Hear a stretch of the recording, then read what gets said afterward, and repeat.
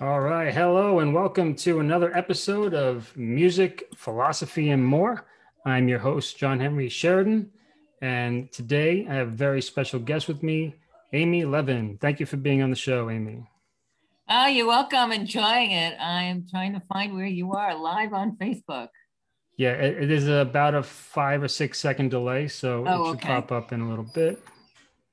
Um, yeah, okay, I just see it. Yeah, so I saw it just pop up. If you find, if you go to John Henry Sheridan uh, profile page Yeah, I am on your page. and just uh, what's it called? Refresh it, maybe. Yeah, I just refreshed. hmm Yeah, so it's live here. It might take take a few moments there. Uh, actually, I could share it directly to your page. Let me try that. Okay, let's do that. Yeah. Right, share. Share now. Okay. Share to friend's profile. And uh, yeah, should pop up. All right, so. Ah, here we go. Okay, so I'm just uh, gonna keep the dialogue going so we don't have dead air. Um, so yeah, we're starting a few minutes early, everybody, just so uh, we could set up and get the show shared onto Amy's page so her uh, friends and audience can easily find her. Thanks, John. Sure, absolutely. So uh, yeah, welcome to the show, Amy. Ah, it's great. It's good to see you. Yeah, I know. We so Amy and I have been in a in a book uh, group for the past uh, ten weeks. So this would be the eleventh week, and today there was no class. So I'm sure all of us in the group felt that today was a little different, right? I did. I was not sure what to do with myself and said, ah, I'll prepare for tonight. Excellent, great. So yeah, it was it was a pleasure. Um, we did this course called uh, Book um, Doula's Incubator Program with Christine Carlson and Deborah Evans, and they helped us uh, in the program to figure out the books we're writing and how to write, and lear- we learned a lot, and we also made a lot of friends. Wouldn't you We say? did. Yes, we did. We did. And it was great getting to know you and everything that you're doing. And I thought it'd be a great opportunity for us to share our experiences in music. And I'm in expressive therapy. So, and it was great. Yes, I uh, joined because I'm writing a book and beginning to write a book. And I experienced the loss of my son, Jonathan, uh, about 29 years ago. He was six. He died of leukemia. And so I am, I joined the book doulas to write about how I got through it. And I wanted to share it with everyone. And so, Wow. So so that that's the main theme. It's it's, it's like a healing journey type of book. I- yeah, yeah, it's a healing journey, but it's also motivational. hmm Um, not sure the title yet, but it's about going from grief to joy and, and love, self love. Wow. And so, yeah, it's more of a, a teaching memoir. Mm-hmm. Wow. Which we, were you aware of the uh, teaching memoir genre before our, our class? Because I wasn't. I had no idea. I had no idea what I was going to do, what I was going to write, but they were they're wonderful. Yeah, they were great, and that we also know each other. We don't know each other through this, but we both also partake in Lee Harris energy, and that's how we both got to the book doulas. right. Exactly. Which is, Yeah. uh, yeah, he's definitely worth mentioning. Uh, I feel um, in some way uh, that he's definitely a inspiration to, to all of us. And in some way, I feel like he's a role model for me and what kind of direction I may be going. Not that I'll be necessarily an energy healer or uh, what's the word? Um, uh, channel or whatever it is that he channels. Uh, but um, I don't know. I just feel like he provides space for people to be creative and encouraging, encourages them. He's a doula of sorts, right? And he, Yeah, he helps people find their their energy and gives birth. Like I took the rebirth program 2021. Did you take that one? I did do. I I took that naturally. that's how I found the book doulas because I had posted on that site, on that Facebook page, Rebirth 2021. Hey, I'm ready to need a mentor. Who do you recommend?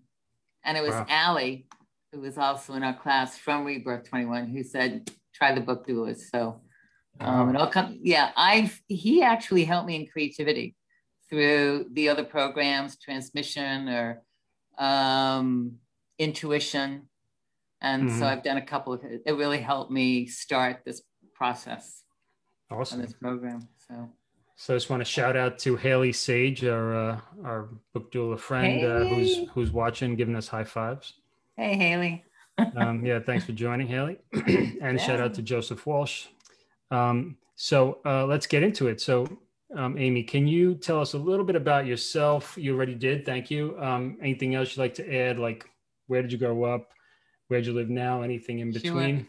Yeah, I grew up in uh, Norwich, Connecticut, and I'm a New Englander.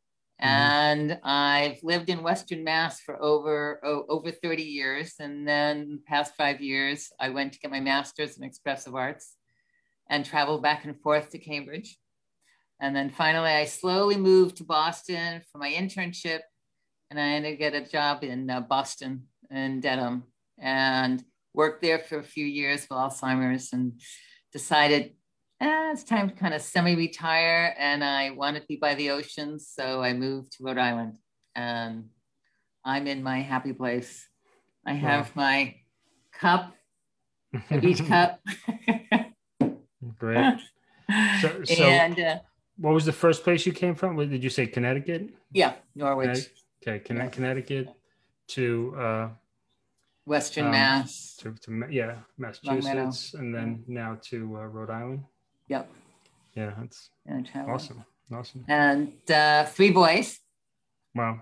And uh, 30, 27, and then my son. Um, you know, probably talked about it before some of you were on, but I had a son who passed away uh, 29 years ago, Jonathan, the age of six. So, mm-hmm. um, yeah.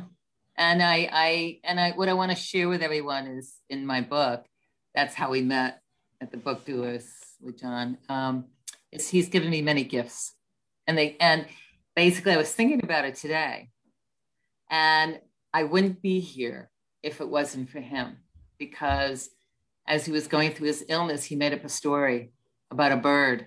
And it helped him so much that I started writing and taking classes, thought I'd get it published, didn't. But if I never started writing, I would probably never have been in the book doulas, never been here with you. So I thank mm-hmm. Jonathan.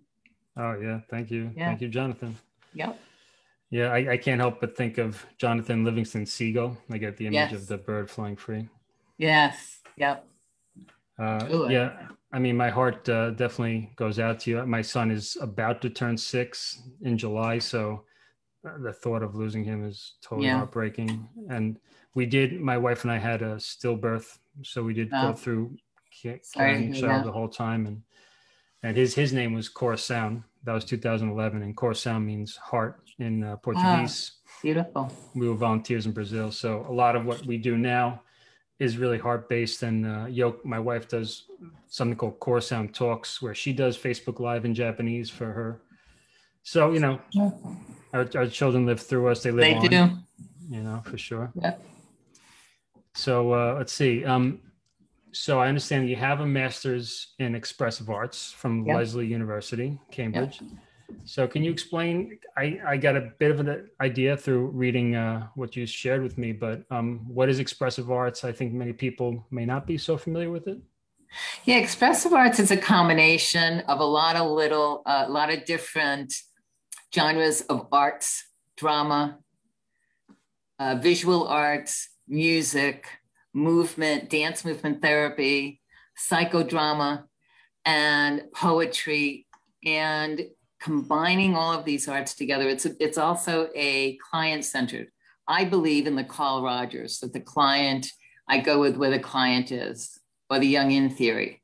And sometimes the client is uncomfortable in speaking, it helps them, we can bring out a tool of art, or they can play with Play-Doh, or where they, that's for the younger kids, um, or movement. And it's bringing in a tool for them to use in music. So, example, I have done in working with the Alzheimer's population, I've done music with them where we did a movement with Tchaikovsky of the Waltz of the Flowers. Mm-hmm. And I would, it took them a while. It took them quite a while. I started very slow with them, but I would move my arms to the music with them mm-hmm. and help them with anticipation when it started going louder. And it's sort of, you can see in my body where you can be in and when you can open. So we talk about the feeling of being in. What does that feel like? And then when the music gets louder, we open up and we express. And mm-hmm. we use the music as a guide for that movement, dance movement therapy, and how we feel in ourselves. And, but it's also about mirroring. Mm-hmm. And it gives them joy. Basically, working with them, my philosophy is giving them a lot of joy. And I also did a art program with them where I would I had printed out very famous pictures like the Mona Lisa, and there were some other ones, and we would compare. Mm-hmm. You know, just getting to see what's the difference in the light, and then we would um, have them paint with music.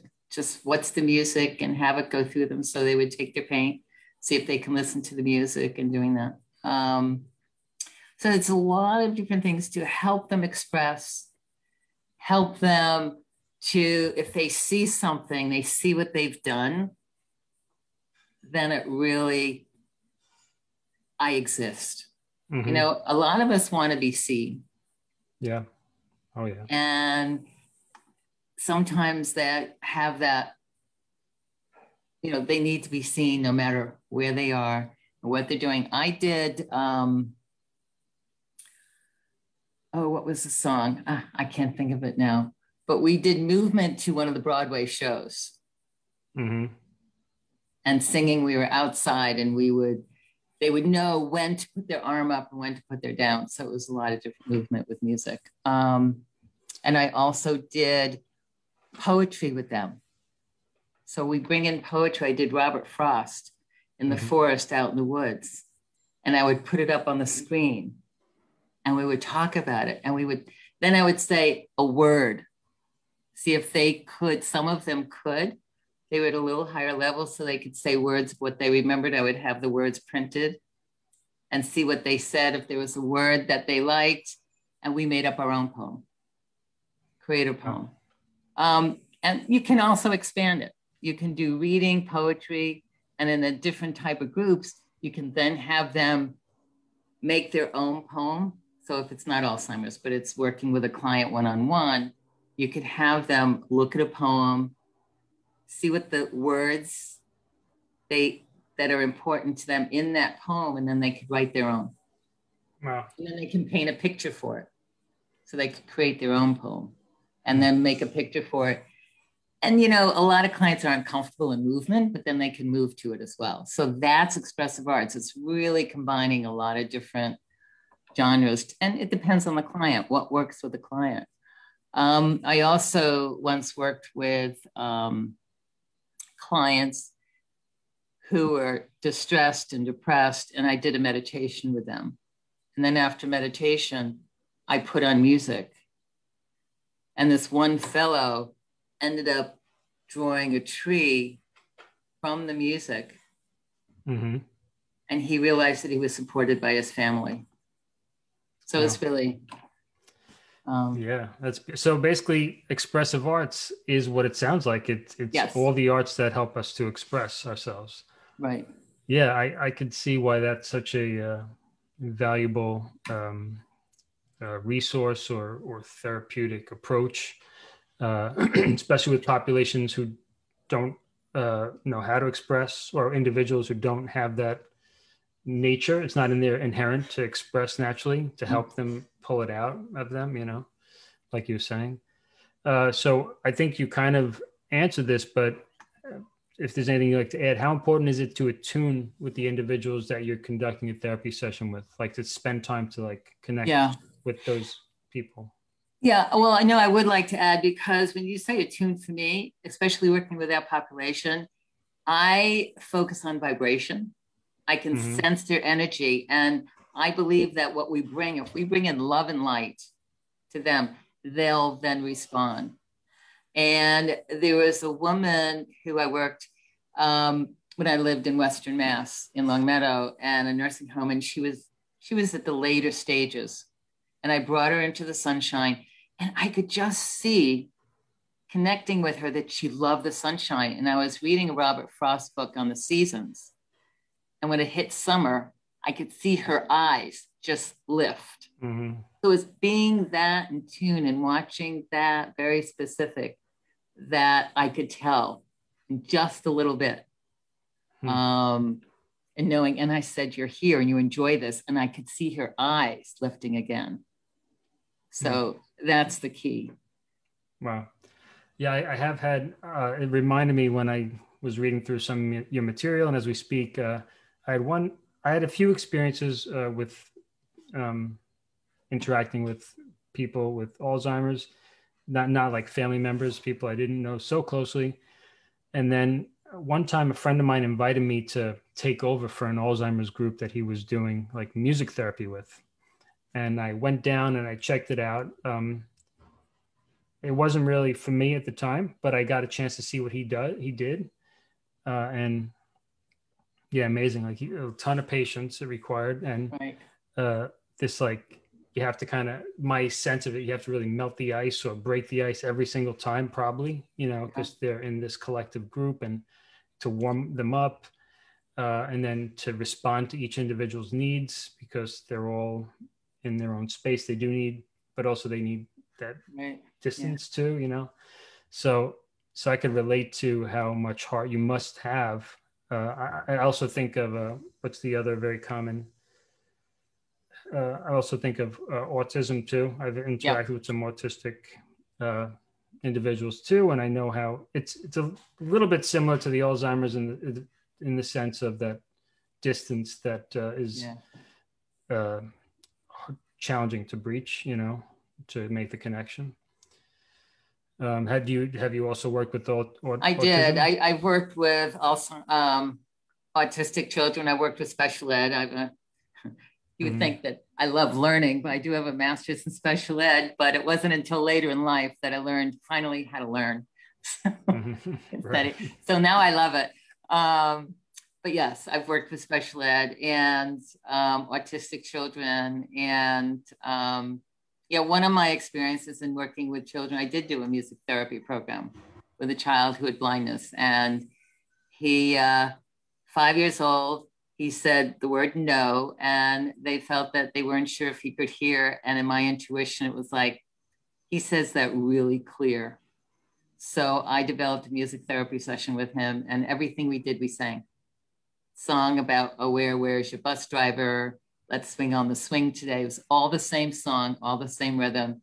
I did a lot of texture with him to sort of want to wake him up, but it was really in tune to really sense who he was, what songs we were, and it was a utopia situation. There was two of us and only three children because they were phasing out the program, so I could give him that. We could give him that one-on-one. The woman I was working with, and um, in six months. And every time for lunch, we would give him a break. We would put on Sesame Street song, plug for Sesame Street. And he started singing in perfect pitch. Somebody come out and play today. Wow. He never mm-hmm. said a, any other word but no until wow. this moment. And so then we started doing words. And I actually ended up going back and meeting with him and his family when I was getting my master's, and he was just talking a blue streak. So, wow. music works, music therapy, yeah. Yeah, it's it's so fascinating to me because as a musician, as a composer, as a performer, like I'm just teacher, I'm saturated with music. So sometimes it, it's all like it's it all it becomes meaningless sometimes because I'm so in it that when I see the effect it has on someone who's not in it all the time, I'm like, oh yeah, wow, that that's why I got into it. You know, I I, I could forget, uh, become numb to it a little bit, you know. But um, yeah, it, it's it's really uh, it's really something. it is, you know, when you were talking before, and then coming back when working with Alzheimer's, it's all the same thing about being attuned. be, and I think the important thing is being attuned to the environment. Mm-hmm. So I, when I worked with them, I was able to walk in and I was planning on doing something very upbeat at this one time. And I walked in and there was a sense of a heavy, heavy environment. It just felt very stressed. And I mentioned something. There was one fellow who's a little bit higher level. And I said, wow, what's going on here? He said, can you feel it? I said, yeah. I said, what do you think you need? He said, we need to get rid of this, whatever, you know, he couldn't say what it was. So mm-hmm. I did a mindfulness uh, meditation with them with really uh, quiet music. I did the rain stick and we did this for about 20 minutes. And then slowly I had to bring them back so mm-hmm. they wouldn't be sleeping before lunch. And I asked, How are you now? And this one woman said, I'm happy now.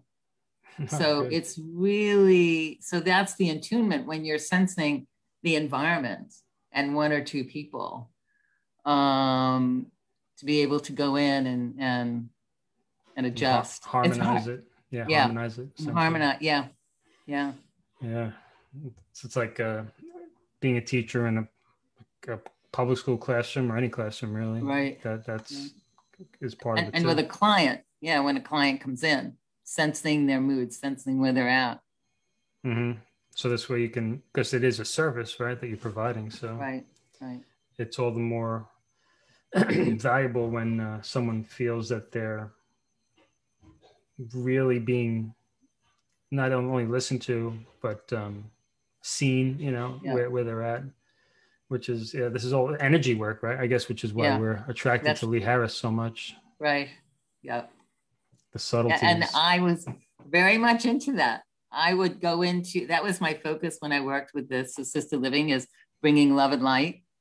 Mm-hmm. I was even before I even connected Lee. And six months later, my supervisor says, Oh my gosh, you brought so much light in here and love. And I went, Yes, I've accomplished. I didn't know, but I kind of sensed. But yeah, so when I discovered Lee Harris, it was yeah, right up my alley. Cool. Well, I have to ask you this question. It's a little a different direction. Uh, All right. But I'm just curious about this ballroom dancing. You actually uh, competing in ballroom dancing for everything a little lighter. Like, yeah. Yes, I did. Um, wow. I competed in. I did. Well, I, I did. I did ballroom dancing first. but some reason, this is coming to my mind. I did figure skating first for yeah. about six years. And then I stopped and I thought, all right, I want to look into something else. So I did. I did ballroom dance competition for about 15 years. And I felt that the only way I learn is to have a goal. Mm-hmm. Um, I used to play in a tennis league and dropped that, so never played tennis again. So when I walked in, I said, "Yep, put me on competition." I went my first competition two months after I started, hmm. and loved it. Loved wow. it. Um, the first time i was on the floor i was in tears because i couldn't believe i was there. My mother oh, used to do ballroom dancing. Oh really? And she had passed so hmm. um, yeah so it's like come on mom I'm going on the floor. Oh that's great. Yeah. and um, roughly um, yeah. what like what what period of your life did you start that? Uh was i in my 50s oh yeah. you started at that time? Yep. Yep. Oh yeah. man and um, competed. That's actually, great. I stopped. It was yeah, I just stopped it about three years ago. Okay. When I was going to getting for my master's, it just was a little bit. It was too much. Or four years ago. So um, yeah, I went all the way up. I reached my goal to go into the gold level. I went to a world a ballroom dance uh, world championship held in Columbus, Ohio. Mm-hmm.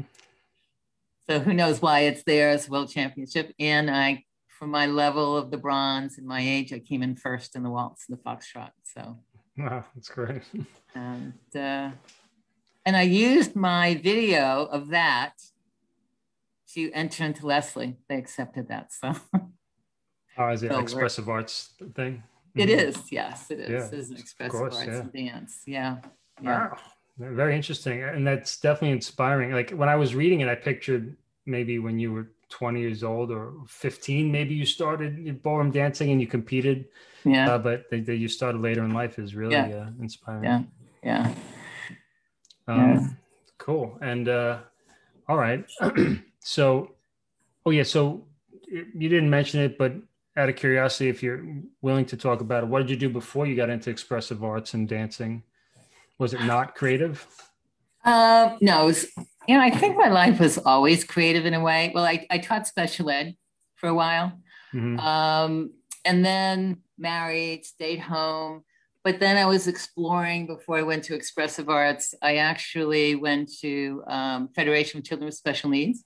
I became an advocate um, and did that for a while and worked special ed. I also became a personal trainer. a friend of mine was leading this group, uh, Fit, Go Fit, and it was work with underprivileged youth and women. And I volunteered, and she said, Oh my gosh, you're great with the population.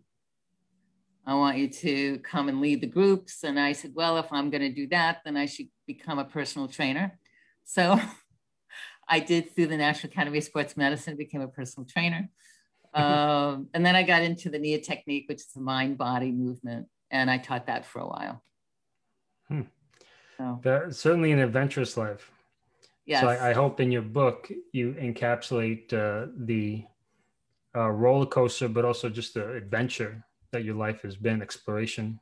Yeah, but that's also later. That was also after Jonathan passed, after I took a meditation course and I started writing about this. That one meditation course said, What do you love? What do you like? What do you love? Well, you know, family came, but all I could think of were sunsets. And I realized that my grief was so much that I didn't know. And then I, from that meditation class, I went and it's like, well, what do I like? And now it's almost like I'm eager to learn. I love learning. And the meditation really helped me open up to see that what life has to offer. And that's also. Um, wow. You, you definitely have a very youthful spirit. And I think I would attribute a lot of that is probably because of your love for learning, which keeps, I imagine, keeps us young. Yeah.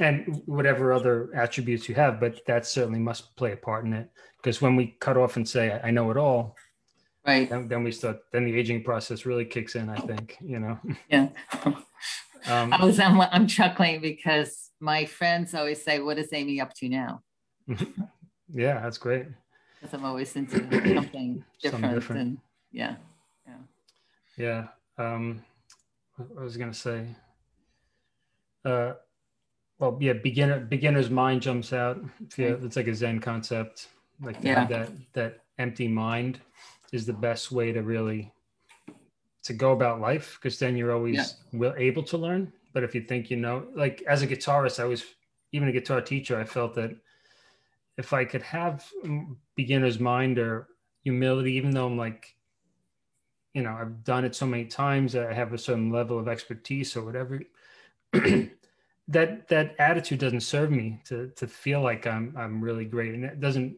help anything. So to think that there's always much more to learn that i'm all i'm just on a growth curve that's all my mm. own that's irrelevant to everyone else you know that that always i felt you know that that helps and you said that, that you learned how to learn later in life uh, kind of in passing uh, as a joke but right. uh, i think that's you know my son being five we're homeschooling him i think that's really my focus and I, and I wish it was more of a focus for most schools to just teach kids how to learn because especially things are changing real fast. So who knows in a couple of years how different things will be from what they've learned in school already. So knowing how to learn will be the most useful than actually just learning knowledge or facts or anything, you know? That's what I feel. Yeah. Right. Yes. Yeah. I did that in college. That was my junior year in college when I finally figured it out. yeah, well, at least you figured it out, right? I did, right. Yeah. Uh, so let's see. Um, so you did share with me an incredible story about a Mahler concert and how it was a beautiful, amazing healing experience. If you if you wouldn't mind, would you sure, tell that sure. story?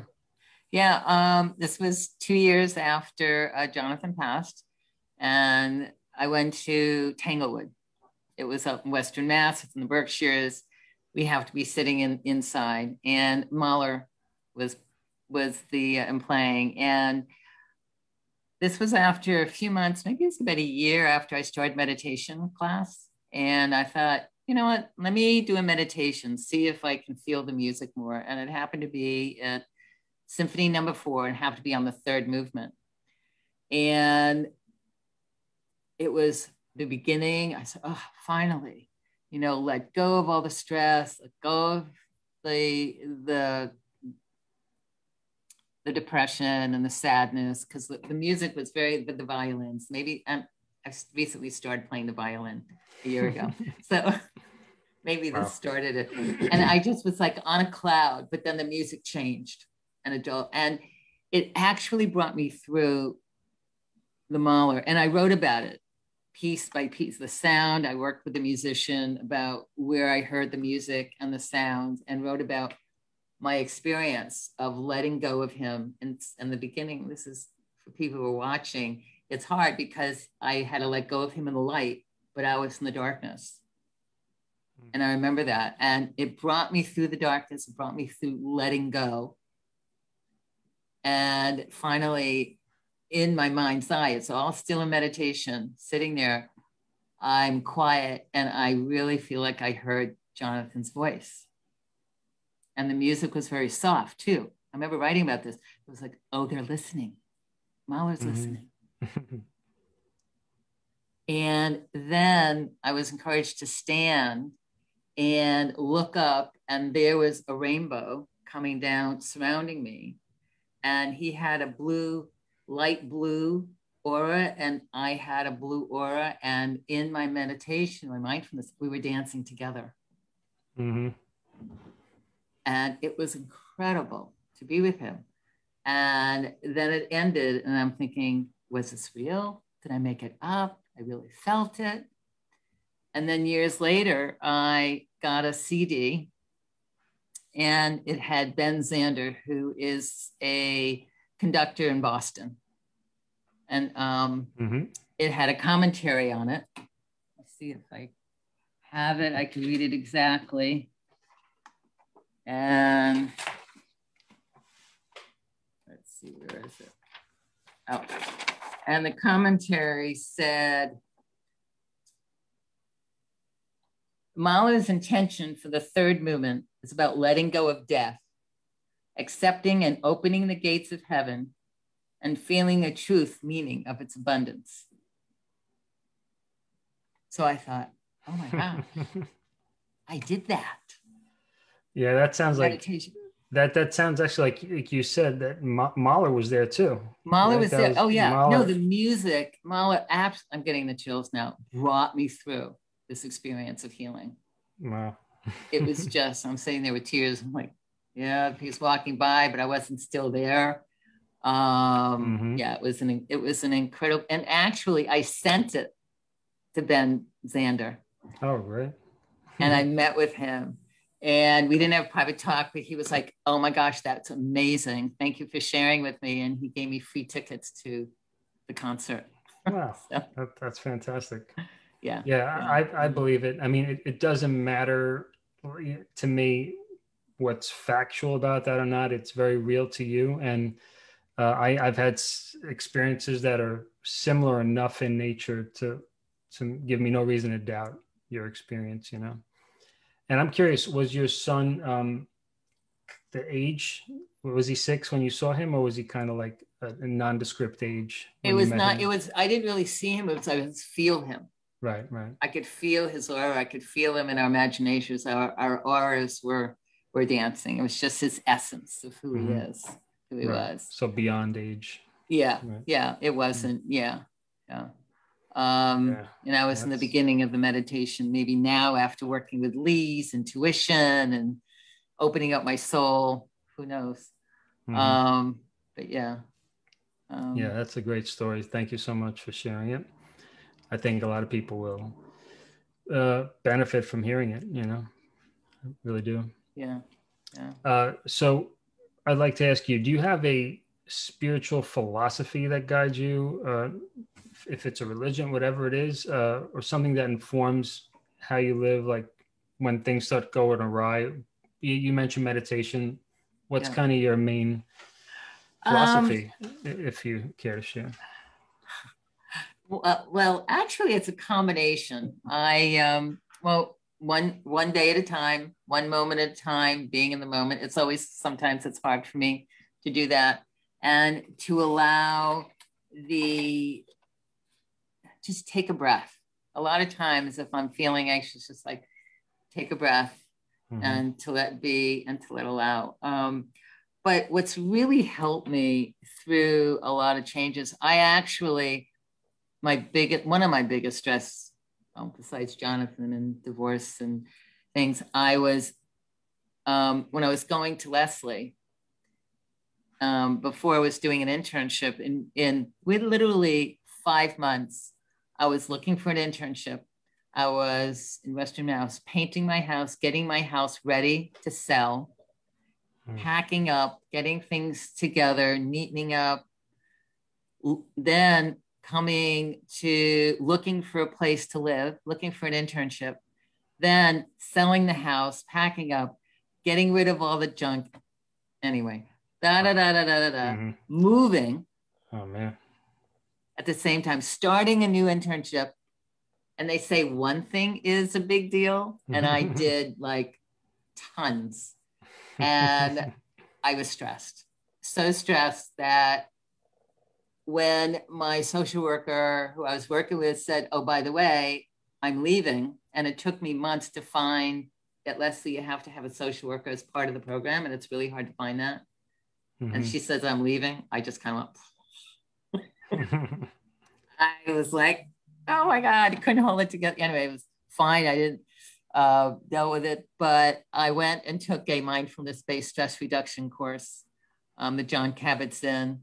Um, mm-hmm. I was I heard about it in night when he started it in 76, 75, and I went, ooh, someday I want to go. And when I lived in I lived in Worcester for a time, it was literally 15 minutes from my house. So I took advantage of that. Oh. And that mm-hmm. was really what helped me. I took, and that got me more into my meditation practice. I, that was, I think, maybe four years ago. And I've been almost doing meditation every day. Wow. Um, and oh, that really helped me regulate. And then I went into and took a course in the mindfulness um, self compassion workshop, which was in Cambridge. So living in Boston was an advantage for me. I started taking mm-hmm. advantage of things, and that was started by Kristin Neff and Chris Germer in the self compassion. And that actually helped me get to where I am in writing my book because I had a big journal that I wrote about Jonathan, about 135 pages. But as I would read things that were really, you know, triggering, I would use the mindfulness self compassion tools you know, I would feel like, oh my gosh, is it going to last all day? In this trigger, but using the tools, I was able to move out of it within like 20 minutes. Wow. So I use a lot of those. Um, so you sorry, you said Jon Kabat-Zinn. That's uh, is he Zen? I think I, I'm familiar with him. uh, Z I N N. He's um, started the mindfulness based stress reduction program mm-hmm. which he started he a, it in a is he a Zen monk? I, I felt like he was. No, no, he's like his non non affiliated or something. Right, as far okay. as I know. As far as I know. And uh, is is he uh, also one of these people who speaks about hospice? I feel like I might have heard him in that context. That like, I don't uh, know. Compassion that for the dying know. type of thing. I mean, yes. I mean, probably, but I the main part that he started it was at UMass Medical School for medical issues. Okay. That's where he basically started. So I don't know about the hospice, but it was basically he started in the basement of mm-hmm. the UMass Medical School in Worcester. Yeah. And now it's grown. And there's also a program that's there is still one at UMass in um, Worcester, Shrewsbury, um, but now there's also one at Brown. Mm-hmm. And um, going to talk about this later, but there's free mindfulness-based stress reduction program through the Brown Mindfulness every day. Okay.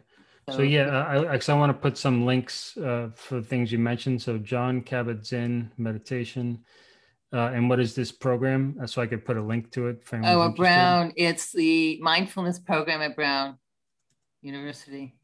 Okay. In Providence. All right. Uh, my Brown mindfulness program. Yeah. And then, and then there's the um, mindfulness self compassion. So I combined like, what do I need today? Mm-hmm. Mindfulness self compassion was that those other two guys you mentioned? That was uh, Chris, uh, Christine Neff.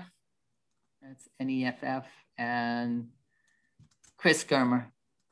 Christine Neff and Chris yeah. Germer. Yeah.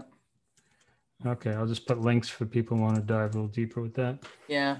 yeah. Uh, so you mentioned Worcester. Um, my wife and I met in um, in the Berkshires um, when we were oh. preparing for this uh, volunteer program in Brazil it was a Massachusetts campus where we trained, and then uh, so we we did fundraising, and we were on the road in New England for for a few wow. weeks, uh, standing in front of uh, ShopRites and places like that, saying, "Hey, would you like to uh, help a bunch of volunteers go to Brazil to to help uh, people in poverty?" And a lot of people helped, a lot of people are like, "Hey, this we're in a recession. Why don't you help people here?" You know, it's like, well because there are people there too, and we want to try. yeah.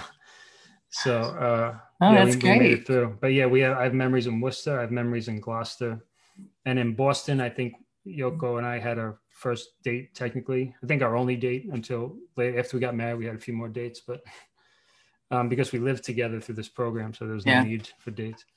Um, anyway, I just thought I'd mention that. That's good. Now, where were you in the Berkshires? Uh, Williamstown. Oh, way up there. Yeah, right. Yeah. Five corners. Uh, yeah, yeah, yeah. Beautiful. It, yeah, we didn't live that far. I lived about an hour away from Berkshires. Oh yeah. When I lived in Western Mass, Longmeadow. Yeah. It's a gorgeous country. I, I flew there in the autumn. That was so fortunate. Yeah. Oh, it's beautiful. Yeah. Oh, yeah. So um, so let's see. Uh, so you don't have a particular religion that you follow this is more based on the mindfulness well i'm well it is more mindfulness but i also did just start taking kabbalah okay mm-hmm. kabbalah philosophy which is like you know it's almost like they're all same like lee harris energy bring connecting with the soul i mean that's i think mm-hmm. basically becoming my where i where i go bringing in the light mm-hmm. is the Kabbalah philosophy is connect me to the light.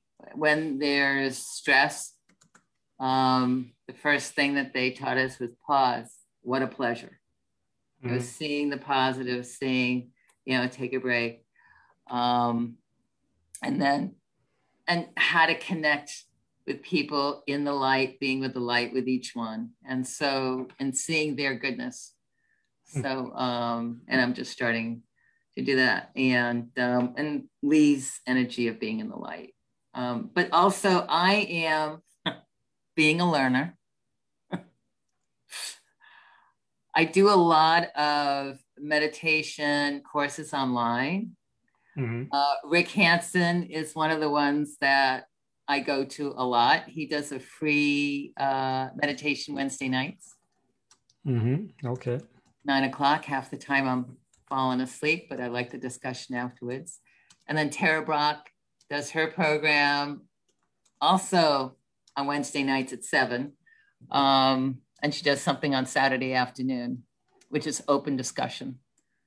Wow. Um, yeah. So uh, that's, and I've done his couple of his courses. And so I go from him to Lee to Tara cool cool. You you find you know you find what you need wherever you go right? You right. and it depends on the moment. I don't i don't stay with one particular aspect mm-hmm. um, in my meditation. Sure. And uh, sometimes i just i do a silent meditation uh, sometimes. But i have so many different things at my fingertips and i think that's what's important. Um, yeah Yeah, you have a toolbox, a toolkit. A toolbox.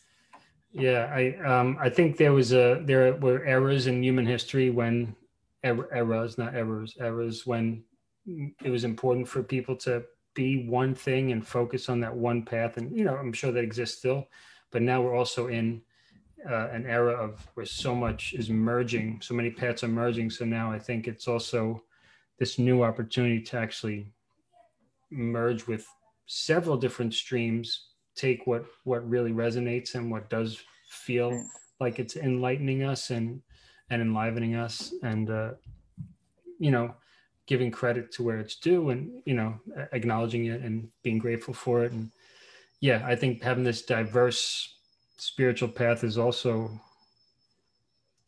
uh as valid as anything else you know i, I of course i mean who's to say what's valid or what's not right. but I think it's it, it can be as intense as anything else, you know, as the one path too, you know. Yeah. Um, yeah. yeah I just, it... I could, I, have just been reading Thomas Merton, right? Uh, do you know, are you familiar with him? So mm-hmm. he was a, he was a Catholic monk, uh, Cistercian monk who, Trappist, sorry, Trappist monk who, um, born 1905 or something like that. And then, or 1915 died 1960s but he was like his parents died when he was young, and then his brother died in the war. So he was like a, a symbol of the chaos of the 20th century. And then he just he was, you know, had sold wild oats when he was young, and then he decided he needed to find a home because he was kind of homeless in a sense. He had nowhere to go, and he be, decided being a monk. He became Catholic. He wasn't born Catholic. He he uh, converted to Catholicism, and then he became a monk. And somehow he was able to uh, have a, a, career as an author, even as a monk. They allowed him to do wow. that. They saw that that this would be right for him, and it would be it would help the Catholic Church in a way too. And so he wrote tons of material, and he's very much about the one path. For him, he it's being a monk, but he also was beginning to see that if there was going to be peace on earth in the 20th century, we're going to have to harmonize with the East. You know, being he was living in America. Mm-hmm we're going to have to harmonize with the Orient and learn from their wisdom. Uh, so yeah, someone like that was important. You know, Dalai Lama has is, is one religion, right? Um, and he's peace act. Yeah, I'm I'm actually a Nichiren Buddhist, so I'm, I'm I am my religion, but I also very much uh, take from the wisdom of all traditions and and seek to find the common ground and speak to that light, like you're saying, Kabbalah, find the light in the other person, speak to that, you know. Um, yeah, I don't know, just, just kind of riffing here. Yeah, yeah, yeah, yeah, yeah, yeah, yeah. Sounds good. Sounds good. yeah, um, I was. Yeah, go ahead.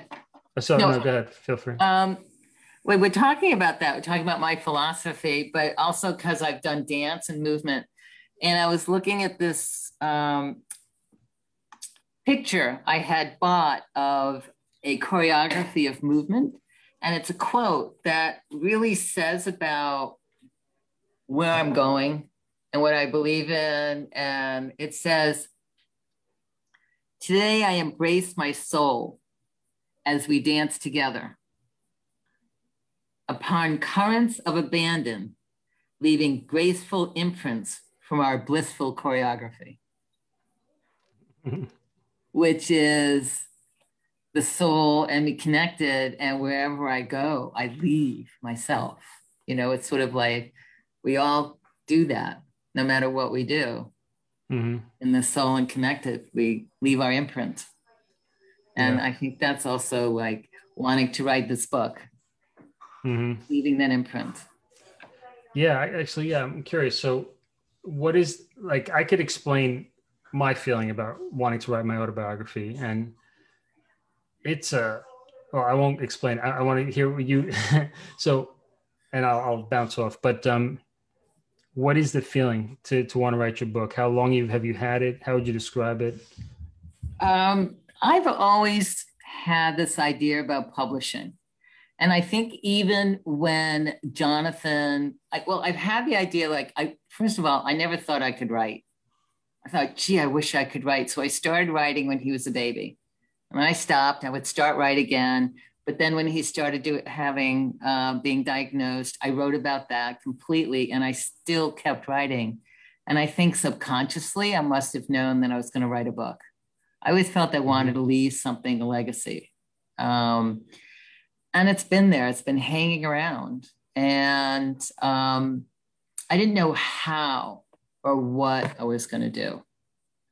And I think that working with Lee Harris in some of his programs and what I wanted to bring in the creativity, it sort of had, had me explore. And I also, with the mindfulness self compassion course, using that as a therapeutic tool, I was able to move through some of still leftovers.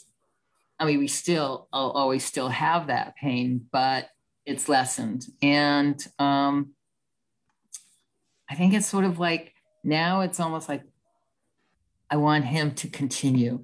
I want people to see him as his gifts, that he continues, and to help people who have been stuck. I know that there are people who are still who are grieving. They don't know they're grieving and how to open the door. And if I help one person to open that door, then I've done what I what I've come to do. So it is. It's helping that one person to see that they can have what they want in their life. Yeah, well, that that's a very uh, pure motivation from my my perspective, and uh, I think because it's so so pure and simple that you'll definitely write the book. You know, I think our motivations can be convoluted. Certainly, when we're younger, we want to be, uh, I don't know, the next Ernest Hemingway or whatever mo- modern author, next Stephen King or something. But um, yeah, yeah, I, I really think it's, you know, sometimes I consider writing a book and what I really feel like I'm doing is is I'm doing a service to future generations. And on some level, maybe when I was younger, I felt is that egotistical. If I said that to my friends, they would say, "Oh, you're so full of yourself." But think about it. You know, it's like right. Walt Whitman put his poetry in, and he really went through. I'm sure he went through a lot of crap to get those poems published. You know, Leaves of Grass, Walt Whitman's poems. And so many authors must have done that, especially when publishing was much more complicated than it is now and i'm glad they did that because i get to learn from these the wisdom of living a different life in a different time. So when i'm writing i'm i'm half writing for people who live way down the line not not people i mean contemporaries of course but but for the the future too future generations. You know there's so many points in human history when we don't actually it's hard to know about the 900s. What do you know right. about the 900s? You know, wouldn't it be cool if we had a journal of someone who lived in the 900s that right. like, we knew what day to day life was? That would you be know? cool. yeah, yeah. You know, so of course there's going to be plenty of information about this era, but um, but still, my perspective it can only be written by me, and, and as Amy Levins right. can only be written by by you. So it's worth it's worthwhile, and whether it's again, like you said, if it's one person that you really touch, most likely it'll be a lot more. But you know, even if it is just one person, it was a job well done, and it was worthwhile. And plus, right. in your it's in your heart, it's in your mission to do so, right? Yeah. So that's honoring your truth. So so it'll at least help two people, right? You plus right. at least one other person. Absolutely. yeah. I've so, learned a lot so far. mm-hmm so someone a friend of mine jumped in and he said uh, he, he's also a writer and a teacher. His name is mike amari. He says the more we are exposed to a variety of faiths and belief systems the more we find the core underpinnings are very similar. Mm. sure. And then he says writing writing is time travel. Through writing we could speak through ages. Oh i like yeah. that. Yeah. Sure you know um, when yeah who uh, like when you read Shakespeare, I've seen some Shakespeare plays live in uh, the Globe, like the recreated Globe Theater mm-hmm. in, in, London. And when you when I saw it live, I'm like, wow, this is so relatable. It's just it's life. The language is flowery and whatever, but but it's just people in in their the complexities of human relationships. You know. Yeah. Um, yeah. So uh, so just to add about how writing a book feels for me is like it feels like uh, it's painful. It's that's how bad it is. You know, like I can't do it fast enough. And I, am doing it. I'm doing it, but uh, you know, I, I, I, I, I, you know, I've never given birth, but I've been a father for, for, for two uh, births, and uh, I, I can only imagine how challenging it is. But I, I liken it to that. I've put out many albums. Mm. Whenever I do art, I put out a lot of albums, and I have put out three books that are well, four but uh, I never wrote a book of words with ideas and you know um, uh, what's you know um, prose. I haven't done that really, so it feels it's torturous because it's just like going on and on and on and on. And when will it ever come out? It's still in me, you know. I don't know if you feel that level of like discomfort that you have to do it or not. I, I it, there are days, there are days, but I'm I sort of allow and trust that the alignment will take me to where I need to go when I write. Mm-hmm. And if I have a slow day, but it's like it's going to come out at the timing when the timing is right. Yeah, and, it's so important to have that yeah. perspective. I mean, there are times I, I the other day I was up at four thirty in the morning writing. Oh yeah. So, well, it's also because I I love doing things. So if I get up at four thirty in the morning, I get this done, and I do my meditation, and I do some you know, I do the writing in the morning, and sometimes I do a meditate, a writing after my meditation, and then I go play pickleball. Something I'm learning now. So, as I say, I like to learn. So that's great. What is pickleball? I don't, not sure I know the um, nuances. Yeah, pickleball is in between, is small tennis. It's a smaller court. It's on the tennis court, but it's smaller, and it's a paddle like ping pong, but it's bigger. It's like this square. If I had it with me, it's in the car and it's got a little handle like tennis, and you play with a wiffle ball. Really? And the court is a little lower, so it's better for people who are a little older. They don't have to run as much, and but it's very quick. It's a quicker game than tennis. Okay, so almost uh, similar to badminton in the sense that you have a little more time. Uh, yeah. Well, no, not really, because if you're you're here's the net, and you're here and it's going back and forth. It's like Oh, okay. So wiffle ball can go pretty fast, right? Oh yeah, yeah. Okay. Or if you're back, you can really hit it. But and there's some different rules, you know, like you can't step in the kitchen, which is next to the net. Oh. And it's hard. I used to play tennis, and I just love the net and get right up there. So oh, really? Mm-hmm. I had to learn. Ah, right. foul! You stepped in the kitchen. wow, sounds fun yeah, it was. It is fun. It, it's very addictive. Anybody who starts it, yeah. Hmm, pickleball. I just might have heard that a few, the word a few times. Yeah. and not. there's, it's basically started for people who are in their seniors and older. You know, mm-hmm. they're 55, 60, that range. But I'm taking some lessons, and there are some young people in there.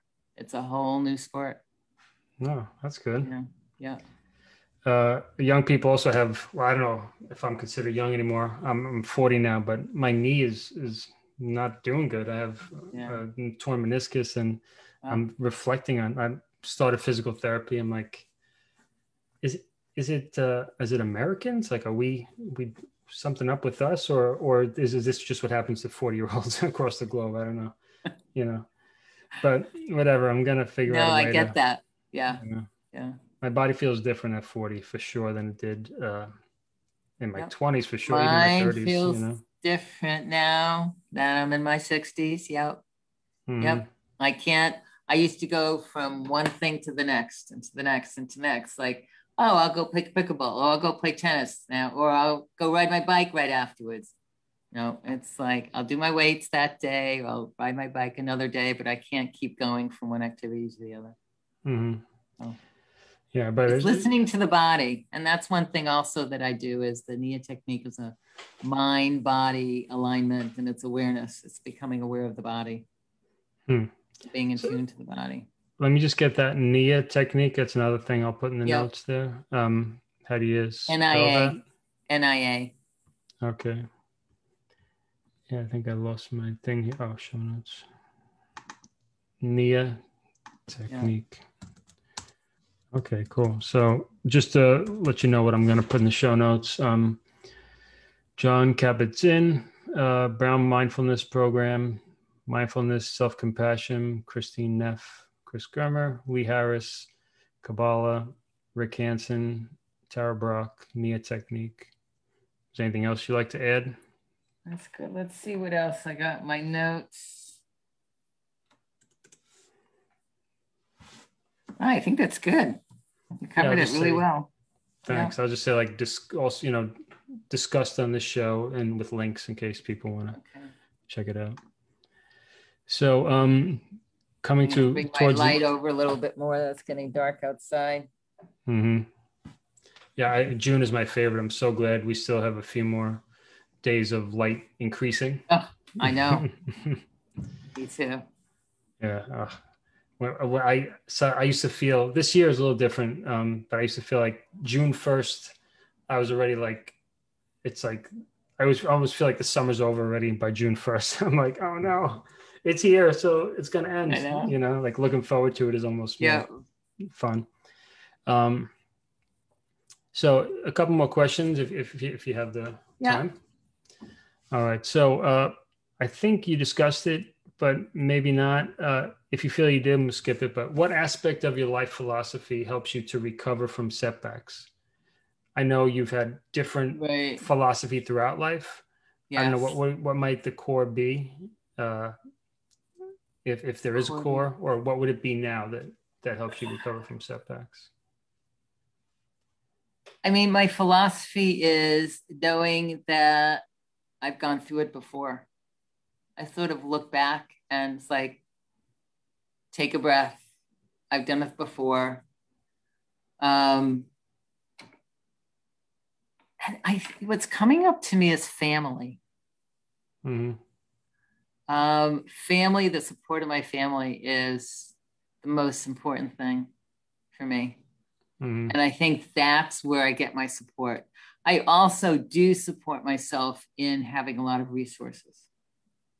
Right. You know, and um, if I need therapy or if I need chiropractor, if I I haven't had one that, but I do, and I think also it helps. The setbacks is something that you enjoy and pleasure.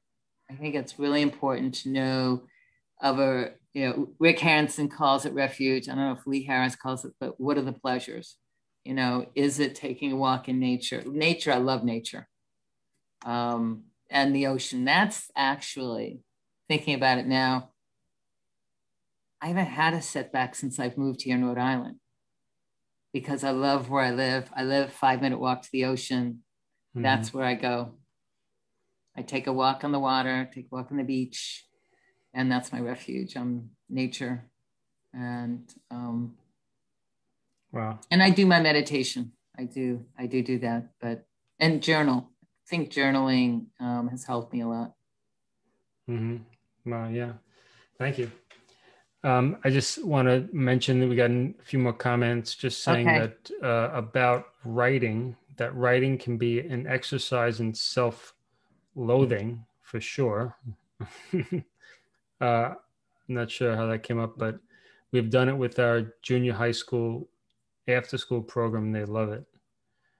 Maybe ah. loathing was the wrong, maybe it was an accident of typing, but yeah, this guy, uh, this friend, Mike, uh, is yeah. an English teacher and with junior high school kids. And okay. so he, he does um, creative writing with them and they love it.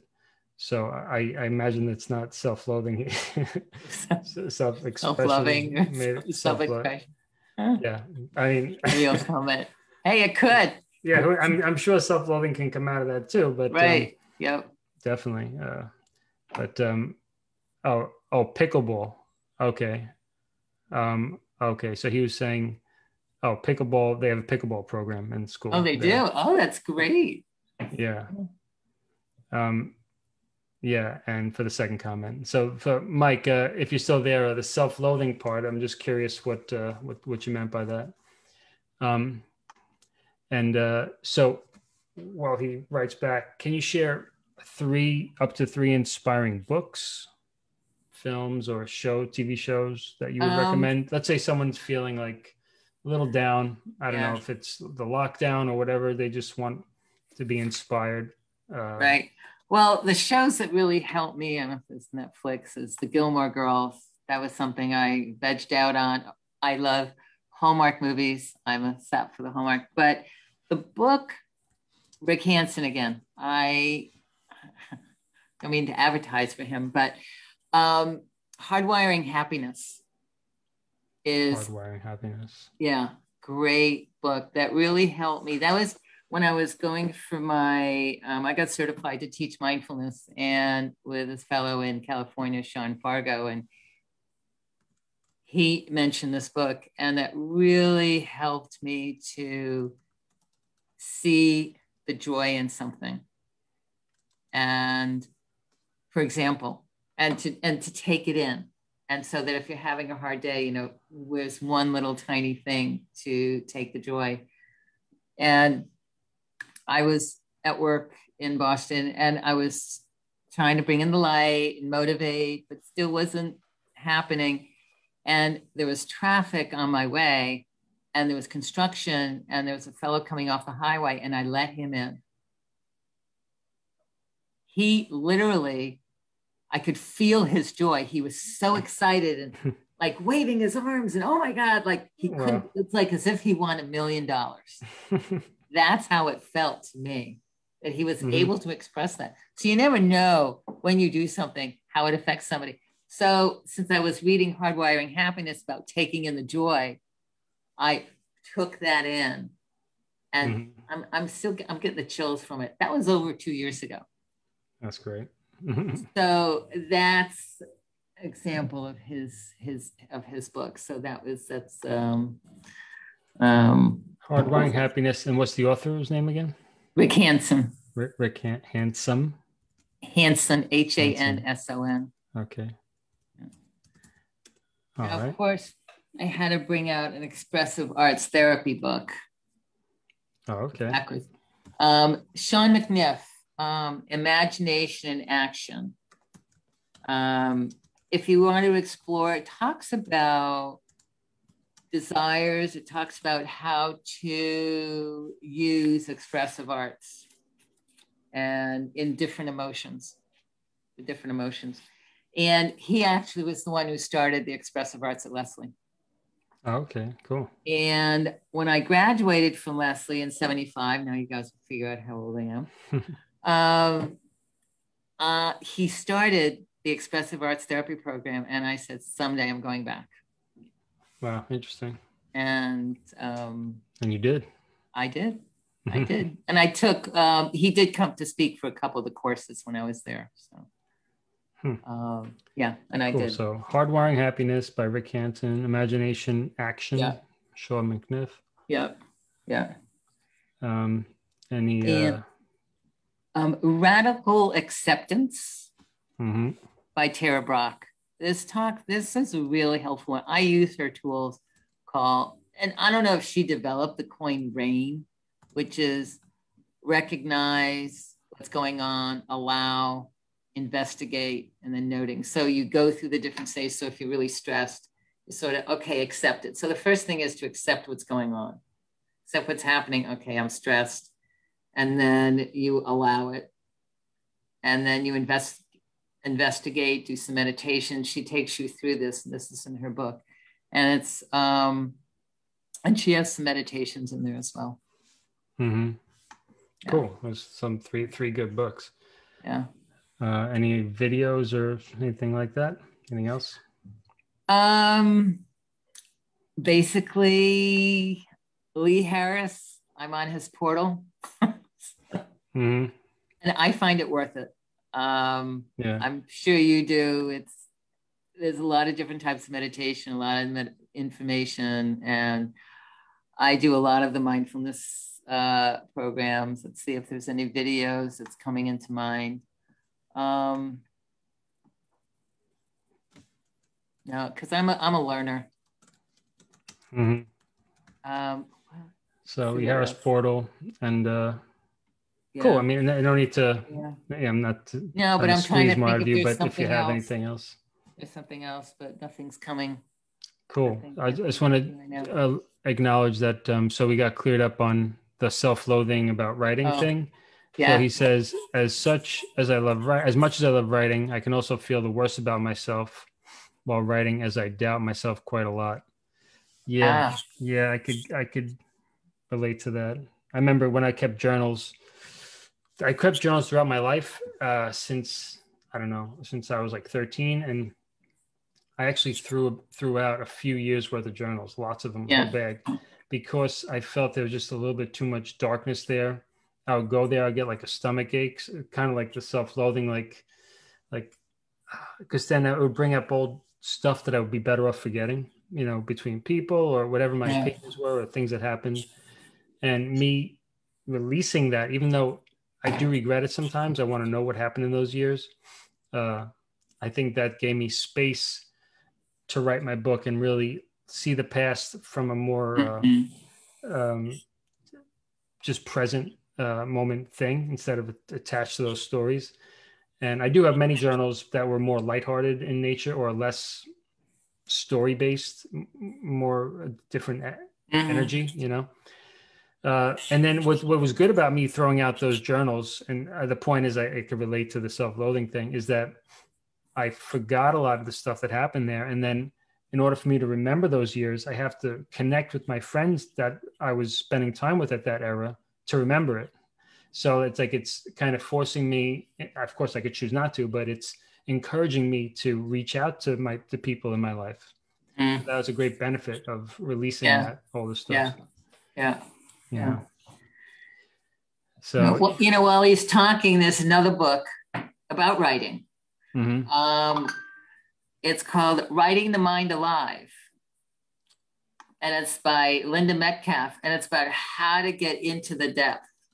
So if you're saying, oh, geez, I really feel this pain, what do I mean by pain? And then you keep going. And what happens is totally surprised by the end where you go because it's it's getting into further into that. And that was something that I really that helped with my writing. That was one of the things that I used a lot. Hmm. cool. I put that book down too. And Haley Sage says that Tara Brach does such valuable work. Yeah. Yeah, I'm I'm familiar with Tara, and I don't follow her particularly, but whenever I put a video on, I I do feel moved. You know, I have no Yeah. nothing um against. You know, she's a healer that I believe in, basically. You Yeah, know, I think yeah. she's got a good vibe. Yeah. Well, she, yeah. And, and also, um, she does do great videos. I've watched hers and Yeah, yeah, Yeah. I like I like what she does. yeah. So uh, this has been wonderful. Uh, would you like It's to tell fun. us? Yeah, it's been a lot of fun, Amy. And we went just a little bit over an hour, uh, actually, because we started early too. So I don't know, close to an hour fifteen. Um, what are your plans in the upcoming several months, if you care to share, or I don't know, uh, is there anything? Sure. I'll have my book with? completely done by August. yeah, no pressure. Yeah, no pressure. No, no, no. Um, yeah, one day at a time. I enjoying the summer. I think, you know, just really having a good time this summer. And I'm really thinking planning and looking into working um, as a consultant somewhere in assisted living in this area. Mhm. I'm going to wait until the fall to really look into that and see where I can work part time. Using expressive arts or, or Using the expressive arts, using Mhm. movement, expressive arts, or even working one on one with someone. I did do actually that with a legacy with someone, and I was able to talk to her about what she remembered. And so I had typed it up and given it to the family and some of her arts, and now they have that as memory. That's great. So um, yeah, that's something I like to do, and working on my book and Yeah, well, keep keep uh, Yeah. keep me uh, tuned into what was going on with your book. absolutely. and uh, maybe we'll have you back here uh, again. Yeah, I know. I would line. love to. When you're saying what book would you like to do, I'd love to be able to say, "Hey, yes, yeah. Well, you got to show us your book. Um, yeah. All right. This has been excellent, uh, Amy. So thank you so much for being a part of Music Philosophy and more. oh, you're welcome." Have Great. have a fantastic uh, week and and June and uh, summer. Yeah. And uh, I will uh, speak to you before long. All right, you too, and thanks for having me. This is fun. Yeah, you, you were my first book group guest, so this is a very special moment here. Yeah. I appreciate it. I started all. All right, thanks. Thanks so much, Amy. Have a Yeah, good night. Bye.